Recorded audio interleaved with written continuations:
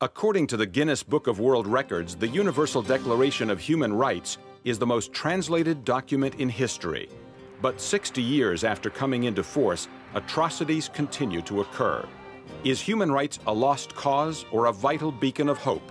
Next on Great Decisions. In a democracy, agreement is not essential, but participation is. Join us as we discuss today's most critical global issues. Join us for Great Decisions. Great Decisions is produced by the Foreign Policy Association, inspiring Americans to learn more about the world. Funding for Great Decisions is provided by the Starr Foundation. Great Decisions is produced in association with the University of Delaware. In Sudan's Darfur region, people are still subject to a genocidal campaign, by most accounts run by the central government in Khartoum. In China, in the days leading up to the 2008 Olympics, Beijing jailed and beat protesters who disagreed with government policy. And in the U.S., we're debating the use of torture as an anti-terrorism tool. Abu Ghraib and others are a reminder that we are not infallible. Um, and, but what we do try to do is when attention is drawn to these issues, we try to uh, make sure there is accountability. We try to correct our mistakes. When the UN authored the Universal Declaration of Human Rights in 1948, its goal was to establish these rights for everyone, not just for citizens of countries that already guaranteed them. But how does a signed piece of paper translate into real protection for real people? The challenge then and today is enforcement. The first area of guarding against human rights abuses is really uh, at the local level among defenders or human rights heroes in their own country, helped almost uh, in, invariably by Human Rights Watch and by Amnesty International, by the Carter Center and other human rights organizations that are non-governmental in nature. The decades after the signing of the Human Rights Declaration have been no less bloody and oppressive than the years before. The killing fields of Cambodia, death squads in Latin America, political repression in the former Soviet Union, violence against women in the Middle East and Africa. We need to look beyond the, just turning to the human, uh, the human Rights Council or to the United Nations when there's a human rights problem. It, because the UN is not very capable of overcoming that kind of built-in resistance of the membership. What are the consequences for human rights violators? Are sanctions and public condemnation enough? And in fighting terrorism, are countries like the United States sacrificing core human rights values for security? What about non-governmental organizations? Can groups like Amnesty International and Human Rights Watch really stop abuses or just document them? Never again, again and again. Coming up next on Great Decisions. And now from our studios, here is Ralph Begleiter. Welcome to Great Decisions. I'm Ralph Begleiter. Joining us to discuss the state of human rights around the globe are Kenneth Roth, president of Human Rights Watch, and Hurst Hannum, professor of international law at the Fletcher School of Law and Diplomacy at Tufts University. Thank you both for being with us, gentlemen. So the Declaration of Human Rights has been in around for six decades, and the United Nations has intervened over that course of time as well. Give us a sense of how you would evaluate how the performance of those institutions has been for protecting human rights around the world. Ken? Well, first of all, I think it's important to remember that the defense of human rights has mostly to do with, with actors outside of the United Nations. There's a very active non-governmental movement that has emerged over the years. And in fact, in almost every country around the world today, you find local human rights activists who are fighting to defend rights in their country. Um, the progress we've made is that today it's impossible for a government to claim that it doesn't care about human rights. Even the worst dictators, even Saddam Hussein, pretended that he respected human rights and tried to hide his atrocities. Um, so that gives us real power to try to force governments to live up to their pretense, to bring their practice in lines with, with, with these principles that they claim to uphold. Now, the UN is, is a part of that process, but, but a fairly small part. I think its most important dimension are, say, the peacekeepers who will go and stop the killing or try to stop the killing in eastern Congo or Darfur.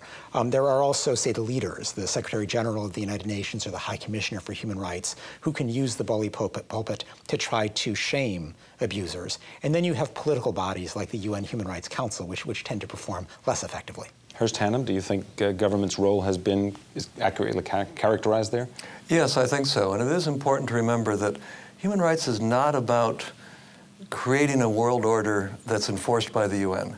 It really is about persuading governments to change. And I think sometimes we miss that because we need the United Nations and the international institutions as guardians, as watchdogs, as occasionally interveners. But essentially, the history of human rights has been about bringing countries on board, first getting them to make a theoretical commitment to these standards, and then slowly, country by country, using the NGOs that uh, Ken talked about and using the UN where we can, getting them to act on these principles.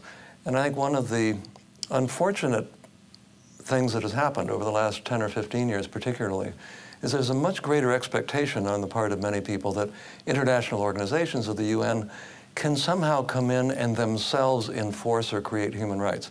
It just can't be done. It's a much longer process than that. But we certainly have made progress uh, between now and uh, back in 1948. Having said that, the United Nations recently changed, in the last couple of years, changed its procedure for handling, switching from a 50-member United Nations Commission on Human Rights to a 47-member Council on Human Rights. We talked at Great Decisions with a number of human rights experts about the UN role. Let's hear what they had to say. So what have we seen from the Council?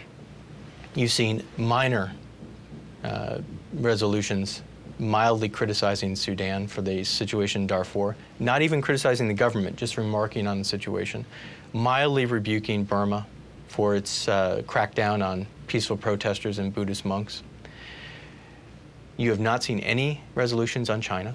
You've not seen any resolutions on North Korea. No resolutions on Zimbabwe. No resolutions on Cuba. No resolutions on Saudi Arabia. No resolutions on Iran.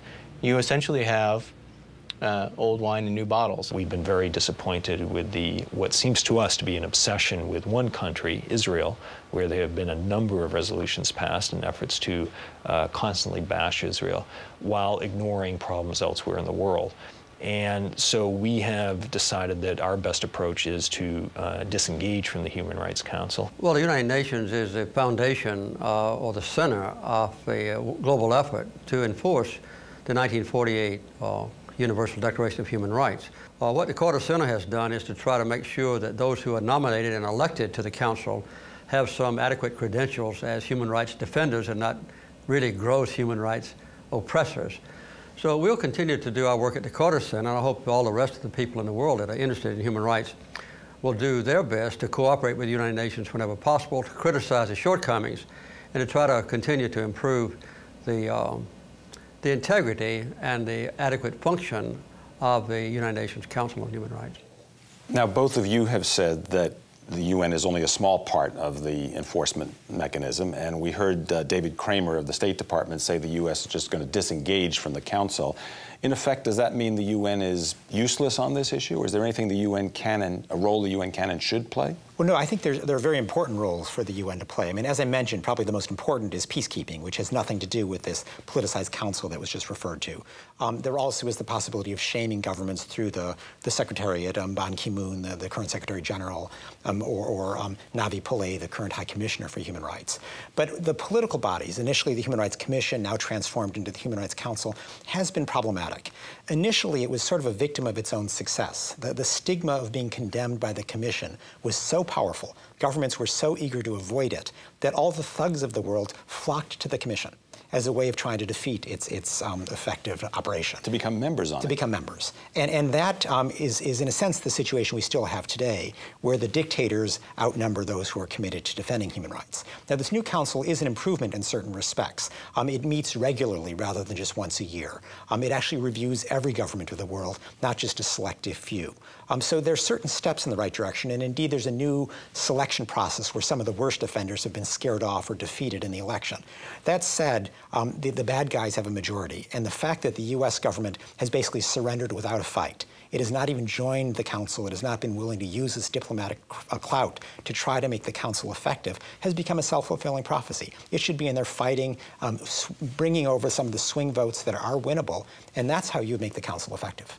Hurst, can I follow up on another aspect that we just heard in the clips, which was uh, that the reason the United States has disengaged, uh, according to Kramer, is that the UN Council and Commission before it have been overly critical, in the U.S. view, of the State of Israel. Is that a key issue to making the the, frankly, the UN and other mechanisms on human rights uh, more effective? Does that get in the way? Well, the UN is a political body, and it's never going to change. And it will identify, particularly when there's a majority, an easy majority to be found, what it considers to be the most egregious violations in the world and focus on those. We know that the situation in Palestine deserves all of the attention that's being focused on it. There's no doubt that it's disproportionate, that there are many terrible things happening all over the world. But let's think back a few years to the attention that was focused on apartheid in South Africa. That too was viewed by some as disproportionate.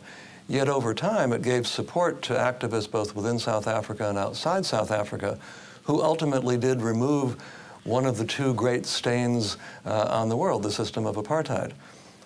Unfortunately, the higher politics involving oil, involving domestic constituencies, et cetera, et cetera, in the Middle East have made the Middle East even less susceptible to the naming and shaming or to the spotlight that the UN has put on it. And we unfortunately haven't seen much progress in that area. So I think the criticisms are right, but they only go halfway. There is no country that is immune from criticism. And to pull out of the Council as the U.S. has done, to refuse to engage with it simply because it focuses too much attention on a situation that does, after all, deserve attention, I think is a serious mistake. Ken, let me come back to something you said in your initial answer, which was that uh, non governmental organizations, both of you talked about this, non government organizations really have played uh, a major, major role in this issue of policing and identifying and calling out uh, human rights violations. Is that because governments can't or won't step up to the plate? Is it because um, you have more credibility as an NGO than a government does? Well, what's interesting, 60 years ago, when governments signed on to this Universal Declaration of Human Rights, I would suspect the vast majority thought that these were just words that would be meaningless. And, and it wasn't as if other governments were going to actively hold them to those principles because they too were hoping to get away with hypocritical response and just kind of ignore this document and put it away in the drawer.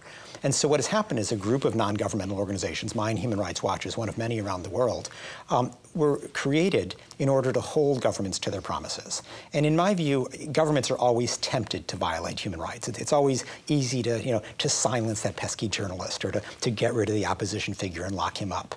And the role of, of these civil society organizations, really, you know, groups of members of the public banding together, is to generate pressure on governments to keep them honest, to hold them to those principles, and to force them to resist that temptation to violate human rights. But unfortunately, I think today human rights is being increasingly conflated with social justice in various ways, with economic equality, with relations between rich and poor states, um, with international criminal law. All of these are quite different things. Mary Robinson, the former High Commissioner uh, for Human Rights, who is one of the eminent spokespersons for human rights and someone whom I respect greatly, has recently said that climate change causes human rights violations. I simply don't know what that means.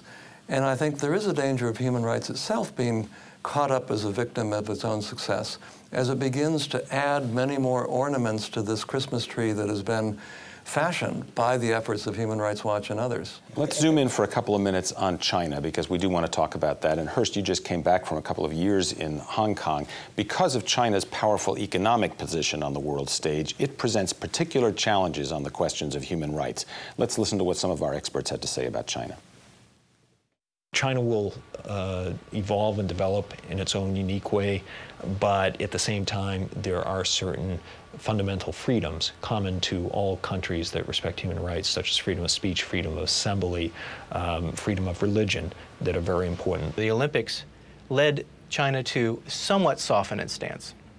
Now that the Olympics are done, that one leverage point has disappeared and I expect China to continue to act as it has historically and be a, an impediment to advancing human rights. Well, exactly 30 years ago, I normalized diplomatic relations with China. There were practically non-existent uh, human rights of Chinese citizens. Uh, there was no uh, possibility of, uh, of earning a living except just under the state control. You have to look at human rights on a broad base. If you ask the average American citizen what is human rights, they would automatically say freedom of speech, freedom of religion, freedom of to elect my own uh, leaders, uh, freedom of assembly, those kind of things. They're all political rights, you might say. But other people in the developing world consider human rights to be the right of a person to have food to eat, a place to live, a chance to earn a, a living, a chance to get an education, a chance for health care. So the social and economic and political rights are all legitimately to be considered as basic human rights. Until a country or government or regime is able to uh, honor all the human rights, then they still are, are susceptible to and ought to be uh, criticized. Hurst Hannum, that's exactly the issue you were referring to a moment ago. Very much so. Do you think he's wrong? No, I think President Carter made a point that most people forget when talking about China. China has brought 200 or 300 million people out of abject, abject poverty. They had, at least until fairly recently, paid much more attention to education. Human rights don't accrue to a government automatically. China has ratified only one of the two major human rights covenants on economic, social, and cultural rights. It's not ratified the one on civil and political rights. The U.S. has done the reverse. China, I think, surprisingly, in my view, uh, cracked down on free expression and protest much more strongly than I expected in the last year or two. But China is still an extraordinarily complex place that it's impossible to predict where it's going to go. And I think, frankly, human rights groups are missing an opportunity because what they should be doing in China is to talk about those obligations that they've accepted, like the right to education, the right to food, the right to health care, all of which are being undermined in this race towards capitalism, and challenge China, if they really believe that all human rights are equal and indivisible, on those obligations without forgetting about torture and unfair trials and imprisonment of dissidents. Ken, we saw this come into really stark relief last year when the Olympics were underway and governments made decisions about whether to participate, not to participate. President Bush decided to go to Beijing.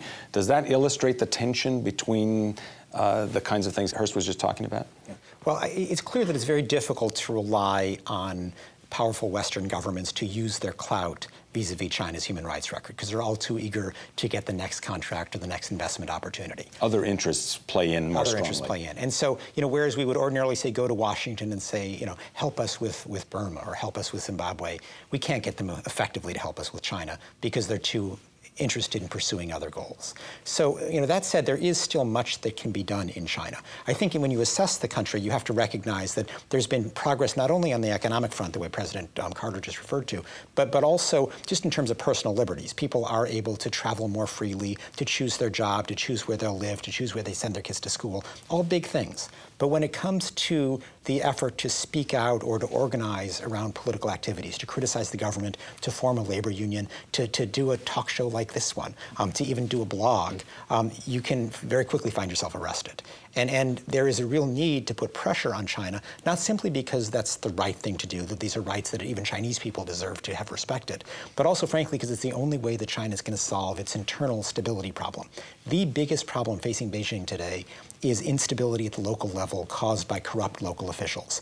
And it's too big a country for Beijing to just order these people to stop. It hasn't worked for years. They need to, in a sense, enlist local people power and let the local population speak out against the corrupt official, bring them to court, you know, write about them in the paper. And frankly, I think that that sort of self-interested argument made to Beijing is what will prevail over time, but there are risks involved. The United States, which has long been a champion of human rights, uh, finds itself in a situation where its reputation on that subject is a bit tarnished. Great Decisions examined some of those uh, charges that the U.S. has undermined its credibility on human rights through policies and actions that it carried out in connection with the war on terrorism. Let's hear what some of our experts had to say on that subject. The very principles of human rights have been gutted when you say that an individual, um, by virtue of their nationality, can be deprived of their rights, and this idea is condoned by the United States. We are urging the next president to sign an executive order prohibiting torture, and the Congress must do something similar to ratify that decision. By not being a good model itself, uh, both at home, the Patriot Act, and abroad, Abu Ghraib and others, and Guantanamo, they have lost their credibility. I don't want to come across as saying that the United States is perfect, we know what's best for everybody. Um, I want to admit right up front that, that we have our problems, we're trying to work through them, um, and we hope that other countries will learn not only from our mistakes, but also from the good practices we have in place. The U.S. is head and shoulders above other countries in the world in terms of its observance and honor of the principles of human rights. The U.S. went through a judicial process to try and determine what it should do with Guantanamo. And that process ended up with a result that was against the policy of the administration. And so in the US, the system processed it, it worked, and we abide by the result of that. This is actually how it's supposed to work. Too many countries in the world don't have anything resembling that. The number one, too, uh, in promoting human rights around the world is to set an example. There needs to be one major nation on earth that unequivocally and permanently, with a deep commitment, honors every human right that's spelled out in a universal declaration. In the past, quite often, that has been the United States. And that needs to be restored under the next president. Hurst Hannum, your view about did the system work in the United States? Well, the system worked in a technical judicial sense, perhaps better than people expected. But the example set by the Bush administration over its eight years is one of the reasons why I think the state of human rights at its 60th anniversary in 2008 was in fact worse than its 50th anniversary 10 years earlier. That combined with the rise in influence of Russia and China have contributed to a world, I think, where human rights is more politicized, uh, is less respected than before, partly because of this issue of example, but also partly because there's a tendency to expect everyone to interpret human rights in the same way. Human rights are universal, but they're not absolute. Almost every human right leaves room for limitations based on public morality or public order. And those are terms that can be abused, and they often are. But they also leave room for China or Indonesia or Kenya to interpret things a bit differently than the United States does, and for the U.S. to insist, for instance, on a degree of freedom of expression that would be anathema in many other countries where hate speech is criminalized, and it's not here. The U.S. needs to set an example, but it has to be one not of being the only country on the Hill, but of a country around the Hill that would like to have some friends. Uh, and it hasn't done that. The unilateralism has affected not only human rights, but international law generally. And it's going to take us a while to recover from that.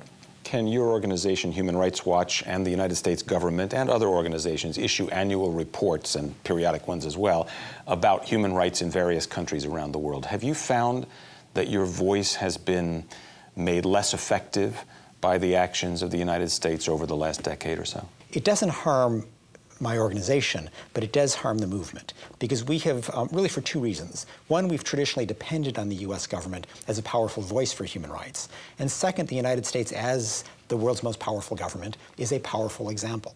And let me give you uh, just a sense of how this plays out. I was in Egypt a couple years ago, and I um, initially met with the U.S. ambassador there, and I said, you know, are you still able to protest Egypt's pervasive torture and its pervasive detention of suspects without trial? And he had to admit sort of sheepishly, no, no, he couldn't possibly do that anymore. He has no credibility when the U.S. does the same thing back home. I then um, went and met with the Egyptian prime minister. And it was at a moment when Egypt was rounding up suspects and we knew they were being tortured. And I said, Mr. Prime Minister, why are you torturing these people? And without skipping a beat, he said, that's what Bush does. Now, that's a cheap answer. It doesn't justify it at all but it allows him to deflect criticism and makes it easier for him to avoid the shaming that is often one of the best antidotes we have for government's temptations to violate human rights. That's a real loss for the movement. There's been a long tension, really decades worth of tension, over whether to use U.S. military force to engage in human rights corrections around the world. That was the case in Bosnia, it was the case in Somalia, it has been the case in the Middle East sometimes. Um, Ken, do you make the argument at Human Rights Watch that the United States, which has the military capability to do it, should be using that power uh, in support of human rights?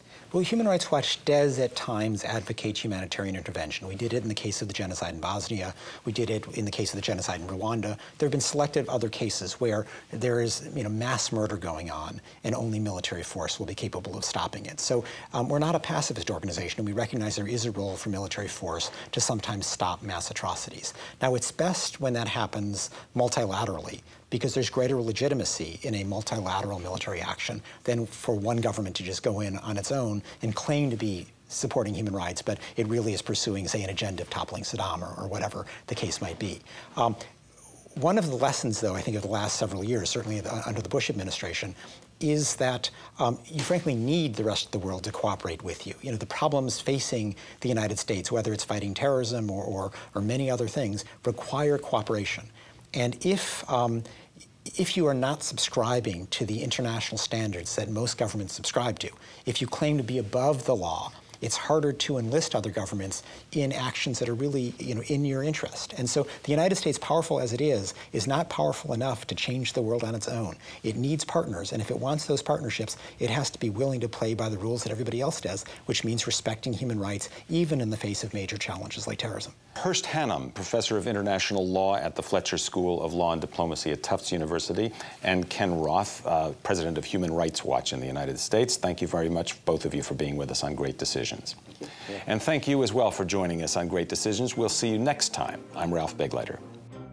To learn more about topics discussed on Great Decisions, visit our website at www.greatdecisions.tv. To order a copy of the Great Decisions Briefing Book, a DVD set of this series, or join a Great Decisions discussion group in your area, contact the Foreign Policy Association. Funding for Great Decisions is provided by the Starr Foundation. Great Decisions is produced in association with the University of Delaware.